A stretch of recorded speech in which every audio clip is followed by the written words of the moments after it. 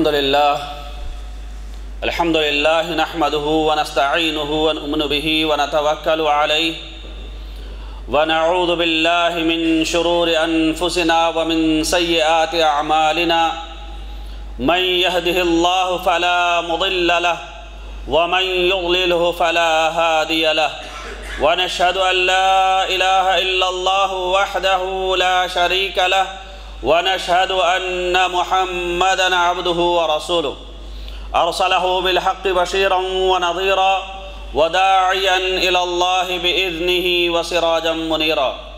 أما بعد فقد قال الله عز وجل في القرآن المجيد أعوذ بالله من الشيطان الرجيم. بسم الله الرحمن الرحيم. وقضى ربك الا تعبدوا الا اياه وبالوالدين احسانا اما يبلغن عندك الكبر احدهما او كلاهما فلا تقل لهما اف ولا تنهرهما وقل لهما قولا كريما అన్ని విధాల పొగడ్తలు సర్వ విధముల ప్రశంసలు సమస్త లోకాలకు ప్రభు అయిన అల్లాహ్కే అంకితం అల్లాహ్ కృపా కటాక్షాలు మహాప్రవక్త మహమ్మద్ సలల్లాహు అలైహి వాలిహి వసల్లంపై ఆయనకు పూర్వం గతించిన ప్రవక్తలందరిపై సుజనులపై సత్యాన్వేషకులపై ఎల్లేడలా కురియుగాక. అభిమాన సోదరులారా నేటి నా ప్రసంగాంశం పద్నాలుగు సూత్రాల పునీత పథకం.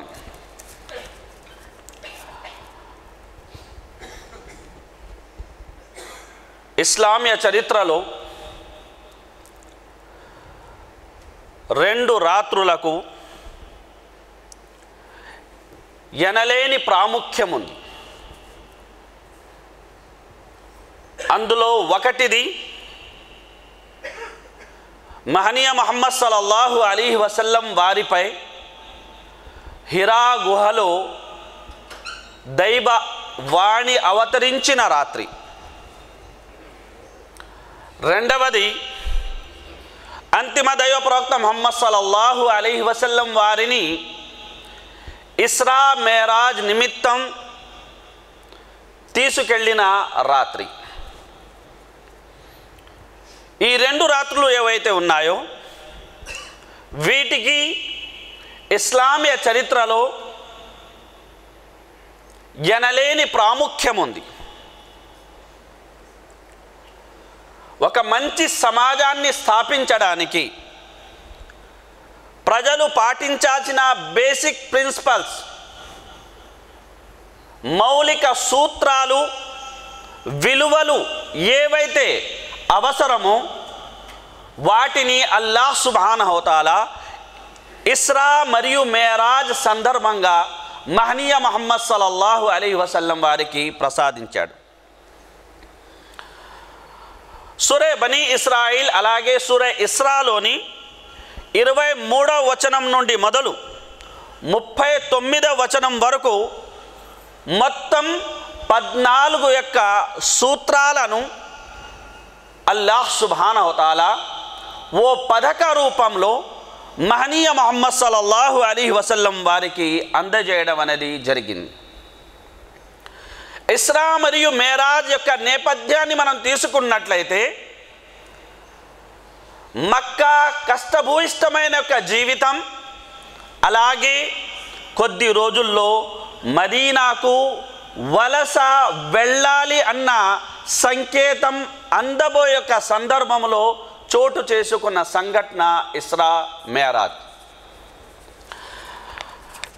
అభిమాన సోదరులారా నేడు మనం అంతర్జాతీయ స్థాయిలో రూపుదిద్దుకున్న యొక్క మానవ హక్కులనైనా సామాజిక న్యాయాన్నైనా కార్మిక చట్టాలనైనా జాతుల మధ్య జరిగే ఒడంబడికనైనా నాగరికత సంబంధించిన నీతి సూత్రాలైనా రాజ్యాంగంలోని నిర్దేశిక నియమాలైనా సరే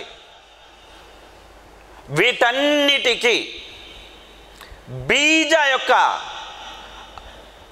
పథకం వీటన్నిటికీ ఆయుపట్టు వంటిది. ఇస్రా మరియు మేరాజ్ సందర్భంగా మహనీయ మహమ్మద్ సల్లల్లాహు అలీ వసల్లం వారికి ప్రసాదించబడిన ఈ పద్నాలుగు సూత్రాల పథకమే. ఆ పద్నాలుగు సూత్రాల పథకాన్ని మనం సింహావలోకనం చేసుకునేందుకు ప్రయత్నిద్దాం. అందులో మొదటిది అల్లాహ్ సుబ్హానహువతఆలా ఖురాన్లో ఈ విధంగా సెలవిస్తున్నాడు. వకదా రబ్బుక అల్లా తఅబుదు ఇల్లా ఇయ్యా వబిల్ వాలిదైని ఎహ్సానా మొదటి ఆదేశం అల్లాహ్ సుభానవతాల ఎవరు నీ ప్రభు తీర్మానించేశాడు? ఏమని తీర్మానించాడు?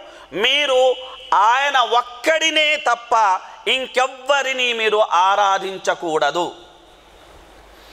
కాబట్టి మనిషి యొక్క ఉపాసనా రీతులన్నీ కేవలం అల్లాహ్కు మాత్రమే చెందాలి. ఆయన ఆజ్ఞే ఆజ్ఞ. ఆయన చట్టాన్నే చట్టంగా మనిషి అంగీకరించాలి. ఇదేదో ఒక మత విశ్వాసం కాదు ఒక వ్యక్తి ప్రతిపాదన కాదు వాదన కాదు. ఇది విశ్వజనీన వాస్తవం విశ్వం మొత్తంలోనే అతి పెద్ద సత్యం. ఈ సృష్టికి కర్త ఉన్నాడు. తను ఒక్కడు మాత్రమే తనే అల్లాహ్ సుబానహోతాల ఈ యొక్క సత్యం పరమ సత్యం ఏదైతే ఉందో ఇదే గనక లేకపోతే విశ్వం లేదు విశ్వ వ్యవస్థ లేదు నేను లేను మీరు లేదు మనం అన్న మాటే లేదు. కనుక అల్లాహ్ సుబాన్ హోతాలా ఖురాన్లో సెలవిస్తున్నాడు వలౌ కాన ఫీహిమా ఆలిహతన్ ఇల్లల్లా లఫసదత. ఒకవేళ భూమి ఆకాశాల్లో అల్లాహను వదిలి అనేక మంది దేవుళ్ళు ఉన్నారు అన్న మాట వాస్తవమైతే ఈ విశ్వ వ్యవస్థ ఎప్పుడో చిన్నాభిన్నమైపోయేది. అలా జరగడము లేదు అంటే ఈ విశ్వానికి కర్త ఒక్కడే తను అల్లాహ్ మాత్రమే. కాబట్టి విశ్వ మానవాళి విశ్వజనులందరూ ఏకతాటిపైకి వచ్చి ఒకే విధమైన యొక్క సంపూర్ణ జీవన విధానాన్ని గడపాలి అంటే వారందరూ ఎప్పటి వరకైతే విశ్వానికి కర్త ఒక్కడే అన్న భావనకి రారో విశ్వజనులందరినీ సమదృష్టితో చూడరో అప్పటి వరకు ఎన్ని ఉత్తమ యొక్క ప్రతిపాదనలు పెట్టుకున్నా ఎన్ని ఉత్తమ యొక్క పథకాల్ని ప్రవేశపెట్టుకున్నా వారు ఆ పథకాల్లో ఆ ప్రతిపాదనలో సఫలీకృతులు కాలేరు. కాబట్టి దైవ ప్రవక్తలు ఎంతమంది అయితే వచ్చారో అంతమంది ప్రజల్ని సంస్కరించే ము- ముందు సమాజాన్ని సంస్కరించే ముందు సమాజాన్ని సంఘాన్ని జాతిని ప్రజను జనాన్ని తొలుత తౌహీద్ వైపు నాకు ఆహ్వానించారు. అల్లాహ్ పట్ల మనిషిలో విశ్వాసం చోటు చేసుకున్నట్లయితే తర్వాత అతనిలో రావాల్సిన యొక్క సంస్కరణ ఏదైతే ఉందో అది తనంట తానే రూపుదిద్దుకునే అవకాశాలు సులభమైపోతాయి. తర్వాత అల్లాహ్ సుభానహతాల తెలియజేస్తున్న మరో సూత్రం ఏమిటంటే వబిల్ వాలిదైని ఎహ్సానా అల్లాహ్ మరియు అల్లాహ్ ప్రవక్త తర్వాత మానవులందరిలో ఎక్కువ మన సేవకు అర్హులు ఎవరు అంటే వారు మనల్ని కన్న తల్లిదండ్రులై కనుక ఏ సమాజంలోనైతే సాంఘిక విలువలు ఆ సమాజపు సంతానాన్ని తల్లిదండ్రుల అవసరాన్ని తెలియజేస్తాయో ఏ సమాజంలోనైతే ఆ యొక్క సాంఘిక విలువలు ఆ సమాజపు తల్లి తండ్రుల్ని సంతాన యొక్క అవసరాన్ని తెలియజేస్తాయో అటువంటి సమాజం రూపొందాలి అని ఇస్లాం కోరుతుంది ఖురాన్ కోరుతుంది అల్లాహ్ కోరుతాడు అంతిమ దైవ ప్రవక్త మహమ్మద్ సలల్లాహు అలీ వసల్లం వారు కోరుతున్నారు. కనుక తల్లి తండ్రుల యొక్క సేవ అశ్రద్ధ చేయడానికి వీలు లేదు. సంతాన శిక్షణ ఏదైతే ఉందో దీన్ని పక్కన పెట్టే అవకాశం లేదు. తల్లిదండ్రుల సేవ ఎంత ముఖ్యమో సంతాన శిక్షణ కూడా అంతే ముఖ్యం. కనుక ఇస్లాం ఏక సమయంలో తల్లిదండ్రుల హక్కులతో పాటు సంతాన హక్కుల్ని కూడా ఇస్లాం అలహందుల్లా తెలియజేసింది. అభిమాన సోదరులారా ఎలాగైతే తల్లి తండ్రులు పిల్లలు అడగకుండానే నేటి తరం అనేది ఎలా ఉందంటే వారు మనల్ని కన్నారు గనక ఇంకా పెంచాల్సిందే పోషించాల్సిందే. ఆ విధంగా ఆలోచిస్తున్నారు. తల్లిదండ్రులు ఎలాగైతే పిల్లలు అలా అడగకుండానే వారి యొక్క ఆలన పాలన చూశారో అదేవిధంగా సంతానము కూడా తల్లిదండ్రులు తమకు ఇది కావాలని అడక్క ముందే వారి అవసరాన్ని తెలుసుకొని తీర్చాలి. అలా తీర్చినప్పుడే అది సత్సమాజం అవుతుంది. అది మంచి సమాజంగా పేరు పొందే యొక్క అవకాశం ఉంటుంది. కనుక అల్లాహ్ సుబానహోతాలా ఈ యొక్క ఖురాన్ యొక్క వచనాల్ని మనం తీసుకున్నట్లయితే అల్లాహ్ సుబానహోతాలా సెలవిస్తున్న మాట వకుర్ రబ్బిర్ హమ్హుమా కమా రబ్బయాని సగీరా. కేవలం తల్లిదండ్రుల సేవ చేసుకోవడమే కాదు వారి పట్ల ఉత్తమంగా వ్యవహరించడమే కాదు సద్వర్తనులై వ్యవహరించడమే కాదు వారి కోసం వారు బతికున్నప్పుడు కూడా మీరు దువా చేయాలి. వారి కోసం వారు మరణించిన తర్వాత కూడా దువా చేయాలి. వారి సేవ వారి బతికుండగా కూడా మీరు చేసుకోవాలి. వారి సేవ వారికి ఎవరెవరితోనైతే సంబంధాలు ఉండేవో వారందరితో మీ సంబంధాన్ని బలపరుచుకుంటూ మరణించిన తర్వాత కూడా చెయ్యాలి అని అంతిమ దైవ ప్రవక్త మహమ్మద్ సల్లల్లాహు అలీ వసల్లం వారు సెలవిచ్చారు. కాబట్టి మహనీయ మహమ్మద్ సల్లల్లాహు అలీ వసల్లం ఆమీన్ చెప్పగా దైవ దూతల నాయకుడైన జిబ్రాయిల్ అలహిస్సలాం శపించగా ఆ యొక్క అభిశాపాన్ని పొందిన వ్యక్తి ఎంత దౌర్భాగ్యుడై ఉంటాడన్న విషయాన్ని మనం ఆలోచించాలి. ఆ అభిశాపం ఏ నిమిత్తం జరిగింది? మహనీయ మహమ్మద్ సల్లాహం ఏ నిమిత్తం ఆమీన్ చెప్పారంటే జిబ్రాయిల్ అలహిస్సలాం అన్నారు ఎవరైతే తల్లి తండ్రుని వృద్ధాప్యంలో పొంది కూడా వారి సేవని సేవ చేసుకుని స్వర్గానికి అర్హులు కాలేకపోయారో అల్లాహ్ వారిని అభిషపించుగాక కనుక తల్లి తండ్రుల సేవ తల్లి తండ్రుల పట్ల విధేయత భావం లేని సమాజం ఏదైతే ఉందో అది ఏ సమాజంగానైనా పేరు పొందొచ్చేమో కానీ సత్సమాజంగా మాత్రం పేరు పొందడం అసాధ్యం. కనుక అల్లాహ్ సుబ్హానహుతాల అంటున్నాడు రబ్బుకుం ఆలము బిమాఫీ నుఫూసికుం ఇన్ తకూను సాలిహీన ఫ ఇన్నహు కాన అవ్వాబీన గఫూరా. మీ యొక్క హృదయాలలో ఉన్న సకల విషయాలు అల్లాహకు తెలుసు.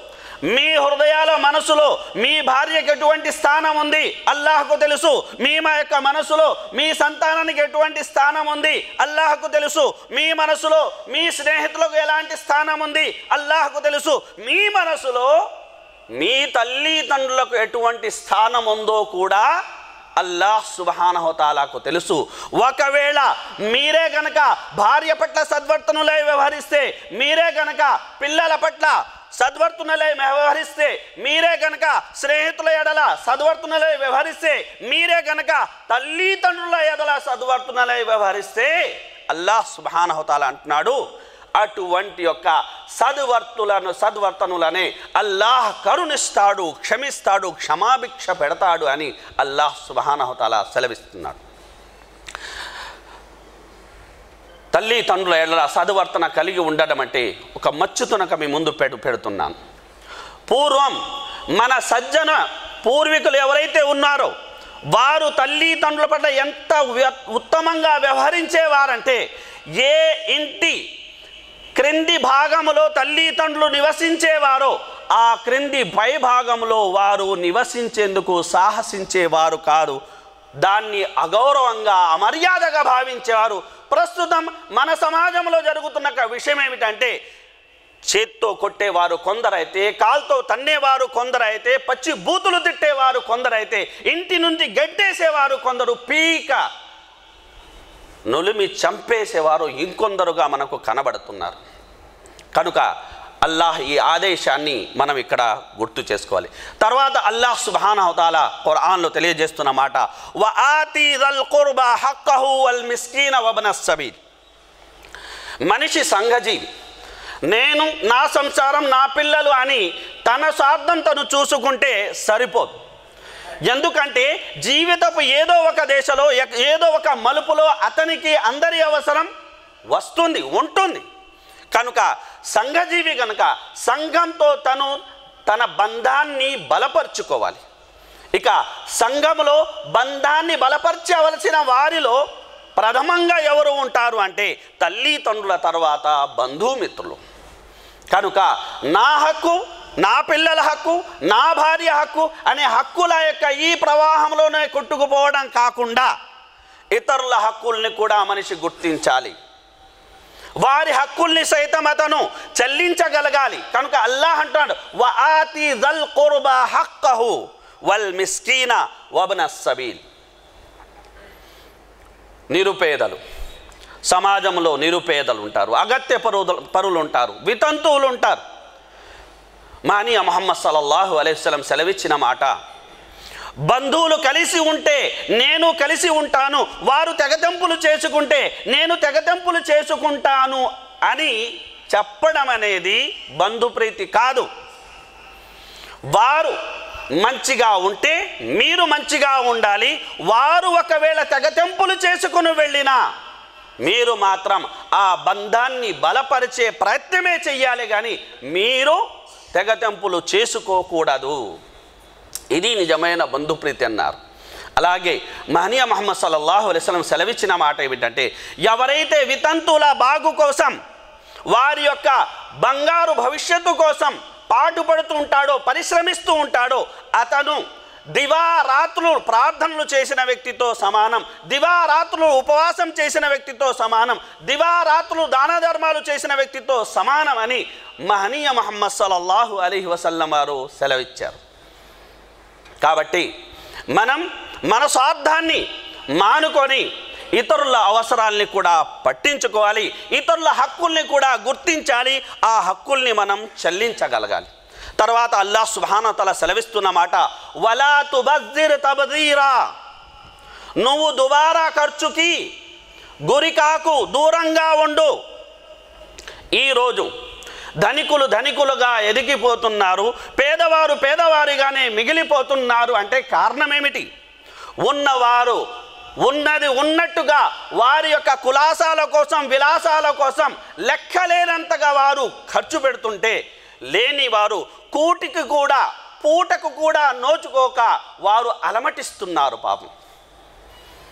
వీరు ధనికులైన అల్లాహ్ అనుగ్రహాన్ని పొందిన ఈ ధనికులు శ్రీమంతులు తన విలాసాల కోసం ఖర్చు చేసే అంతక సంపదల నుంచి కొంతలో కొంత రవ్వంత తీసి నిరుపేదల యొక్క సహాయం కోసం వారు వెచ్చించిన ఏ దేశంలో పేదరికపు సమస్య అనేది ఉండదు. అయితే ఈరోజు ఉందంటే అల్లాహ్ ఆదేశాలను మనిషి కాలరాసి స్వయం సిద్ధాంతాలను అతను అమలు పరుస్తున్నాడు కనుక మనిషి ప్రవేశపెట్టిన యొక్క పథకాలను అతను అమలు పరుస్తున్నాడు కనుక తను కూడా ఇక్కట్ల పాలవుతున్నాడు ఇతరులను కూడా ఇక్కట్ల పాలు చేస్తున్నాడు. కనుక అభిమాన సోదరులారా ఈ మధ్యనే సోషల్ మీడియా మీద ఎక్కువగా మీరందరూ చూసి ఉంటారు. అదేమిటంటే ఒక్కొక్క తన యజమానినే చంపేసింది ఆలోచించండి ఈ కుక్కను ఎంత చెల్లించి తను కొన్నాడు? అక్షరాల ఆరు వేలు వెచ్చించి ఆ కుక్కను కొంటే ఆ కుక్క ఏం చేసింది? ఉన్న ప్రాణాన్ని ఊడబెరికేసింది. ఆలోచించండి. ఈ ఆరు లక్షలు ఒక కుక్క మీద వెచ్చించాల్సిన అవసరం ఆ ధనికుడికి నిజంగా ఉందా? ఆ ఆరు లక్షలతో ఎన్ని బీద కుటుంబాలకి అతను బాగు చేయలేడు? ఎందరి సమస్యలు తీరలేవు? ఎందరి యొక్క అప్పులు తీరలేవు? ఎందరి పెళ్ళిళ్ళు కాలేవో? ఆలోచించాల్సిన విషయం. కనుక అభిమాన సోదరులారా అల్లాహ్ సుబ్హానహు ఖురాన్లో అంటాడు ఇవ ఇమ్మాతో అలిదిన్న అనుహమతిగా వితిగా రహమతి మిర్ రబ్బిక్ తరుజూహా ఫకుల్ కౌలం మైసూరా. బంధువులకు ఇవ్వడానికి మీ దగ్గర ఏమీ లేదు నిరుపేదలకు ఇవ్వడానికి మీ దగ్గర ఏమీ లేదు బాటసారులకు ఇవ్వడానికి మీ దగ్గర ఏమీ లేదు. మీరు కూడా కడు నిరుపేదలుగా ఉన్నారు మీరు కూడా అమిత అవసరంలో ఉన్నారు. అలాంటప్పుడు ఇవ్వలేని స్థితిలో మీరు ఉన్నప్పుడు అప్పుడు కూడా కఠినంగా మాత్రం మీరు వ్యవహరించకండి. మృదుగానే మీరు వ్యవహరించండి. మంచిగానే మీరు పలకరించండి. వ అమ్మ సాయిల ఫలా తన్హార్ నీ దరికి వచ్చి చేయి చాచి అర్థించే వ్యక్తి ఎవడైనా సరే ఆ వ్యక్తిని నువ్వు కసరుకోకు. నీ దగ్గర ఉంటే సహాయం చేయి. లేదంటే ఓ మంచి మాట చెప్పి సాగనంపు. అల్లాహ్ సుబ్హానహు ఖురాన్లో అంటున్నాడు. కౌలు మారూఫున్ ఖైరుమ్ మిన్ సదకతిన్ యత్ అదా దానం చేసి మనసు నొప్పించే యొక్క ఆ దానం కన్నా ఓ మంచి మాట ఎంతో మిన్నా అని అల్లాహ్ సుబానతల ఖురాన్లో తెలియజేస్తున్నాడు. ఆ తర్వాత అల్లాహ్ సుబానతల తెలియజేసిన యొక్క మరో సూత్రం ఏమిటంటే వలా తజాల్ యదక మగులూలతన్ ఇలా ఉన్కిత వలా తబుసుతహా కుల్లల్ బస్ ఫతకూద మలూమం మహ్సూరా. ఎందులోనూ అతి మంచిది కాదు అతి హాని చేస్తుంది మితం అనేది హాయినిస్తుంది. ఖర్చు విషయంలోనైనా ఆహార విషయంలోనైనా ఏ యొక్క వ్యవహారంలోనైనా మనిషి అనేది మితానికి కట్టుబడి అతను జీవించినట్లయితే అతనికి హాయి ఉంటుంది అతికి అతను పాలు పడ్డాడంటే తను కూడా నష్టపోతాడు తన వారిని కూడా నష్టానికి అతను గురి చేసే అవకాశం ఉంది. కనుక అల్లాహ్ సుమహానహోతాల ఖురాన్లో తన దాసుల గురించి తెలియజేస్తున్న యొక్క మాట ఏమిటంటే వలం యస్రిఫు వలం యక్కుతురు వారు దుబారా ఖర్చు కూడా చెయ్యరు అలాగని పిసినారితనము కూడా వారు వహించరు. వకాన బైనదాలిక కవామ. ఈ రెంటికి మధ్య ఉన్న మధ్య మార్గాన్ని వారు అవలంబిస్తారు. కనుక అల్లాహ్ అంటున్నారు మీరు మరీ పిసినారులుగా మారకండి. మీరు మరీ దానగుణం గల వ్యక్తులుగా కూడా వ్యవహరించకండి అని అల్లాహ్ సుబానహతల ఖురాన్లో తెలియ తర్వాత ఆయతులు అల్లాహ్ తెలియజేస్తున్న విషయాన్ని మనం గమనించాలి. అదేమిటంటే ఇన్నల్లాహ యబ్సుతు రిజ్క లిమన్ యషా. ఒక పిసినిగొట్టు ఒక పిసినారి ఎందుకు తన ధనాన్ని వ్యయపరచడం లేదు? ఎందుకు తన ధనాన్ని ఖర్చు పెట్టడం లేదు? అంటే ధనం ఎక్కడ తగ్గిపోతుందోనని సంపద ఎక్కడ తరుగుతుందోననే ఒక భయం. అల్లాహ్ అంటున్నాడు ఎన్నల్లాహ యబ్సుతు నువ్వు ఎందుకు భయపడుతున్నావు? ఉపాధిని ప్రసాదించేవాడు అల్లాహ్ సుబ్హానహు ఆయన తాను తలిచిన వారికి విస్తృత ఉపాధిని ప్రసాదిస్తాడు. కనుక నీ పిసినారితనం నీ ధనాన్ని పెంచజాలదు. అల్లాహ్ సుభాన్ హోతాలా తలిస్తేనే నీ ధనంలో పెరుగుదల ఉంటుంది. కనుక అల్లాహ్ ఖురాన్లో అంటున్నాడు వయురుబిస్ సదకాత్. దాన ధర్మాల్ని అల్లాహ్ సుబాన హోతాలా వృద్ధిపరుస్తాడు పెంపొందిస్తాడు. కనుక ఎవరైతే దాన ధర్మాలు చేయడం లేదో ఏమవుతుంది? ప్రవక్త మొహమ్మద్ సల్లల్లాహు అలీ వసలం యొక్క మాటను ఇక్కడ వినండి. ప్రతిరోజు ఇద్దరు దైవదూతారు భూ ఆకాశానికి వచ్చి దీవెనలు కురిపిస్తారు అలాగే శపిస్తారు కూడా. అందులో ఒక దైవదూత అంటాడు ఓ అల్లాహ్ ఎవడైతే నీ మార్గంలో దానం చేశాడో ఖర్చు చేశాడో నువ్వు వాడికి మరింత ప్రసాదించు.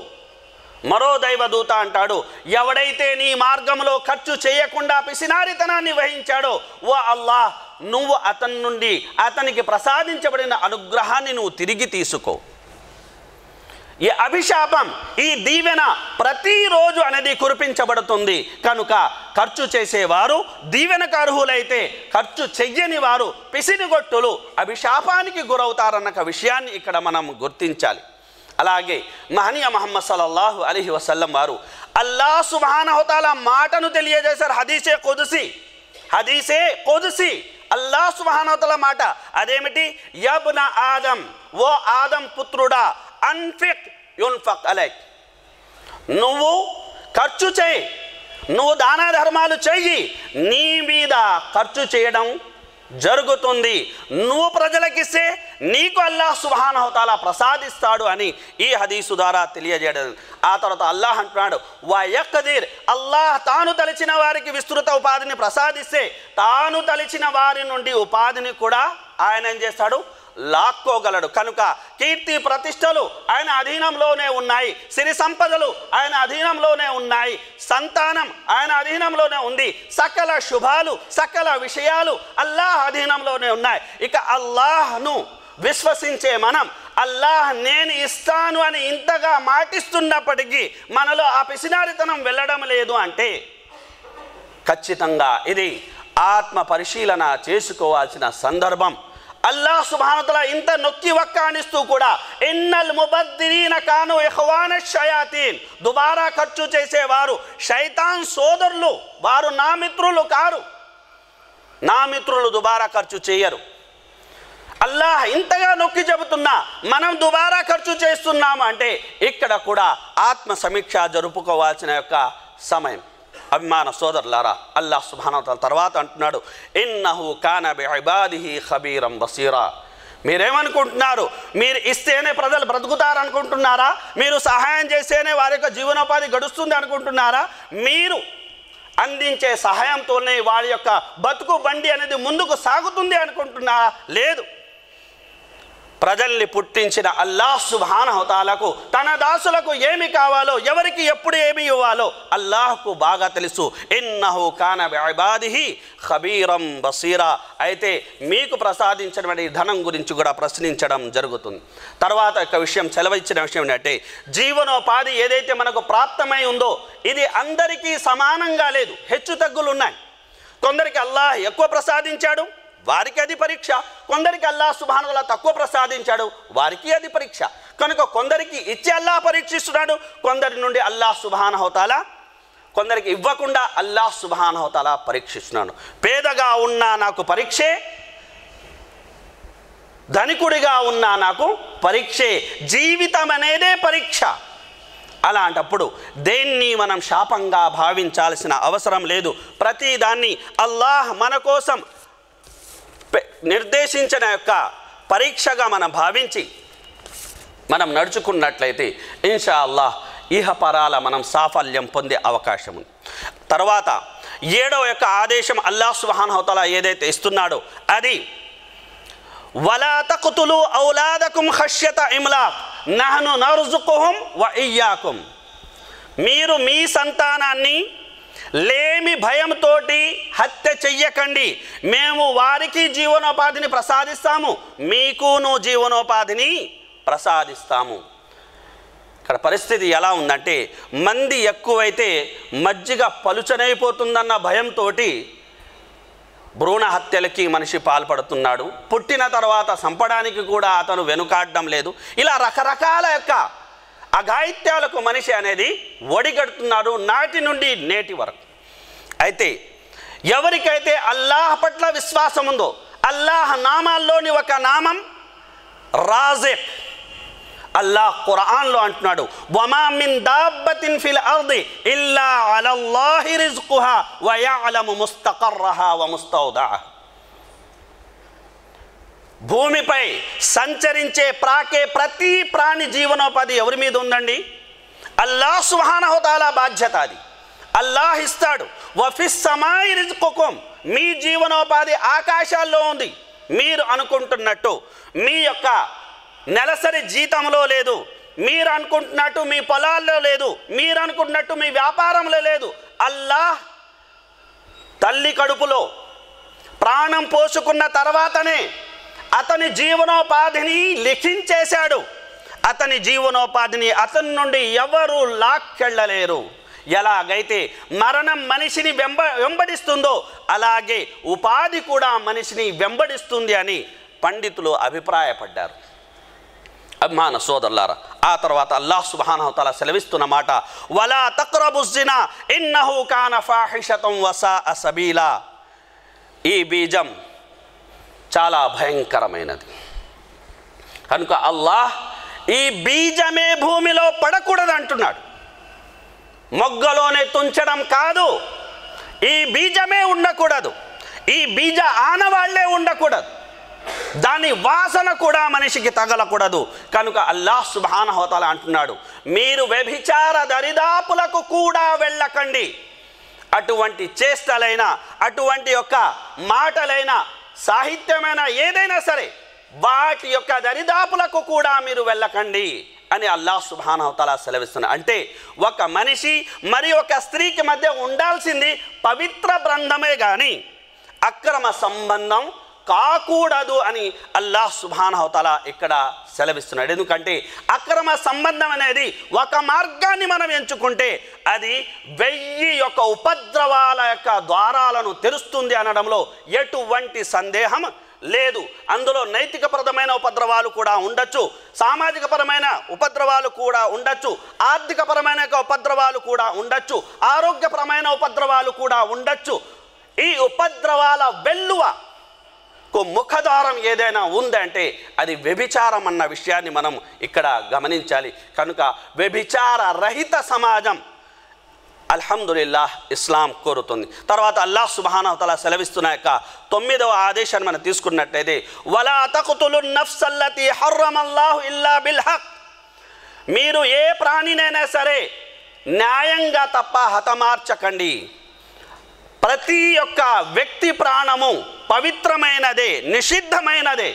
ప్రతి ప్రాణి యొక్క ప్రాణము నిషిద్ధమైనదే. అనవసరంగా ఏ ప్రాణిని ఏ జంతువును చంపడానికి లేదు ఏ మనిషిని పొట్టన పెట్టుకోవడానికి లేదు. న్యాయంగా తప్ప. ఆ తర్వాత అల్లాహ్ అంటున్నాడు ఒకవేళ మీరు ప్రతీకారమే తీర్చుకోవాలనిపిస్తే ఫలాతుస్రిఫిల్ కత్ల్ ప్రతీకారం తీర్చుకునే విషయంలో హద్దు మీరి ప్రవర్తించకండి. ప్రస్తుతం జరుగుతున్నది ఏమిటంటే ఒక కుటుంబంలో మరణించిన ఒక వ్యక్తికి బదులుగా మరో కుటుంబానికి సంబంధించిన వంద మందిని చంపేస్తున్నారు. ఇది ప్రతీకార యొక్క చట్టానికి పూర్తి విరుద్ధం ఏ చట్టమైతే ఇస్లాం ఇక్కడ ఉపదేశిస్తుందో అల్లాహ్ సుభానహోతాల మనిషి ప్రాణం విలువను తెలియజేస్తూ చెప్పిన మాట ఎవరైతే అన్యాయంగా ఒక ప్రాణానికి బదులు కానీ లేదంటే భూమిలో కల్లోలాన్ని రేకెత్తినంచు రేకెత్తించినందుకు బదులుగా కానీ కాకుండా అన్యాయంగా ఒక ప్రాణాన్ని బలి తీసుకుంటాడో అతను సమస్త మానవులను హత్య చేసినట్టు అని అల్లాహ్ సుబానహోతల ఖురాన్లో సెలవిస్తున్నాడు. ఆ తర్వాత అల్లాహ్ సుబానతల చెబుతున్న మాట వలా తక్రబు మాలల్ యతీం మీరు అనాథల సొమ్ము దరిదాపులకు కూడా వెళ్ళకండి. దాదాపు మన సమాజంలో అనాథలు అంటే ఏమిటంటే ఆస్తిపాస్తులు లేనివారు అన్నట్టుగానే ఉంటుంది లేదు.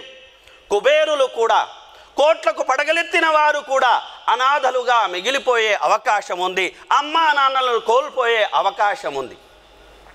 అవసరార్థులైన అనాథలను ఆదుకోవడం మన బాధ్యత. అయితే ఆస్తిపరులైన అనాథల ఆస్తిని కాపాడడం కూడా మన బాధ్యత అని అల్లాహ్ సుబాన హోతాల ఖురాన్లో తెలియజేశాను. కనుక ప్రవక్త మొహమ్మద్ సల్లల్లాహు అలైహి వసల్లం వారు అన్నారు అన వకాఫిలుల్ యతీమి కహాతైని బిల్ జన్న. నేను మరియు ఒక అనాథ పోషణ భారాన్ని భరించే వ్యక్తి రేపు ప్రళయదినాన ఇలా స్వర్గంలో దగ్గర దగ్గరగా ఉంటాము అని ప్రవక్త ముహమ్మద్ సలల్లాహు అలీహి వసల్లం వారు సెలవిచ్చారు. ఆ తర్వాత ప్రవక్త సల్లల్లాహు అలిస్లం సెలవిచ్చిన మాట ఇళ్ళల్లోకెల్లా గొప్ప ఇల్లు ఏమిటంటే ఏ ఇంట్లోనైతే అనాథ పోషణ జరుగుతుందో ఆ ఇల్లు అన్ని ఇళ్ళల్లో కన్నా గొప్పది అని ప్రవక్త ముహమ్మద్ సలల్లాహు అలైస్లం సెలవిచ్చారు. ఇక పదకొండవ సూత్ర విషయానికి మనం వచ్చినట్లయితే వ ఔఫు బిల్ అహద్ వడంబడిక ఇచ్చిన మాటను నిలబెట్టుకోవడం దీని గురించి అల్లాహ్ సుబహానహోతాల నొక్కి వక్కాడినిస్తాడు. ఎందుకంటే మాటను నిలబెట్టుకోలేకపోతే శత్రువుల్ని పెంచుకుంటాం. ఒడంబడికను మనం పాటించకపోతే శత్రు దేశాలు పెరుగుతాయి శత్రు ప్రాంతాలు పెరుగుతాయి. కాబట్టి ఇచ్చిన మాట మీద నిలబడారు మహాని మహనీయ మహమ్మద్ సల్లల్లాహు అలైహి వసల్లం వారి గురించి మీరు వినే ఉంటారు. ఒక వ్యక్తి ఇక్కడే తమరు నిలబడి ఉండని నేను వస్తాను అని వెళ్ళిపోతే మూడు రోజుల వరకు ఆ వ్యక్తి కోసం అక్కడే నిలబడి ప్రవక్త ముహమ్మద్ సల్లాహ్ ఎదురు చూసినాక సంఘటన మరువలేని. కనుక ఆయన జీవితాన్ని ఆదర్శంగా తీసుకునే మనం మన మాటకు మనం కట్టుబడి ఉండాలి. ఆ తర్వాత ప్రవక్త ముహమ్మద్ సల్లాహు అలైస్లంకి ఇవ్వబడిన యొక్క పన్నెండవ సూత్రం వ ఔఫుల్ కైల ఇదా మీరు ప్రజలకు ఏదైనా తూచి ఇచ్చినట్లయితే సరైన తూకంతో తూచి ఇవ్వండి అని అల్లాహ్ సుభాన హోతాలా సెలవిస్తాడు. ఎందుకు? ఒకవేళ తూకంలో ఇందులో అందులో మంది దాండి కొట్టడం కనుక ప్రారంభించినట్లయితే మోసం చేయడం కనుక ప్రారంభించినట్లయితే అల్ల కల్లోలం చోటు చేసుకుంటుండి. విద్వేష బీజాలు నాటుకుంటాయి. కాబట్టి మనము ఒకరి మీద దౌర్జన్యం చేయకూడదు ఒకరు మన మీద దౌర్జన్యం చేయకుండా ఉండాలంటే. ఆ తర్వాత అల్లాహ్ సుబాన హోతాలా సెలవిస్తున్న యొక్క పదమూడవ సూత్రం వలా తక్ఫు మాలైసల బిహి ఇల్మ్. నీకు తెలియని విషయం దగ్గర నువ్వు నిలబడి మాట్లాడకు. అది వ్యక్తిగతమైనదైనా సరే సామాజికమైనా సరే ప్రాంతీయపరమైనా సరే రాష్ట్రపరమైనా సరే దేశీయపరమైనా సరే జాతీయపరమైన సరే అంతర్జాతీయ పరమైన సరే ఏ స్థాయికి చెందిన విషయంలోనైనా నీకు అవగాహన లేదు నీ దగ్గర సమాజం లేదు నువ్వు ఆ యొక్క రంగానికి చెందిన నిపుణుడివి కావు అన్నప్పుడు ఆ విషయాల జోలికి నువ్వు వెళ్ళకు అని అల్లాహ్ సుబానహతాలా సెలవిస్తున్నాడు. ఈ అన్ని రంగాలకు ఇది వర్తిస్తుంది. ఎందుకు? అల్లాహ్ అంటున్నాడు వల్ బసర వల్ కుల్లు ఉలాయిక కాన అన్హు మసూలా. నువ్వు వినే నీ చెవులు కానీ నువ్వు చూసే ఈ చూయక నీ కళ్ళు కానీ అలాగే నీ యొక్క మనసులో మెదిలే ఆలోచనని సమస్త విషయాల గురించి అల్లాహ్ దగ్గర అడగడం అనేది జరుగుతుంది.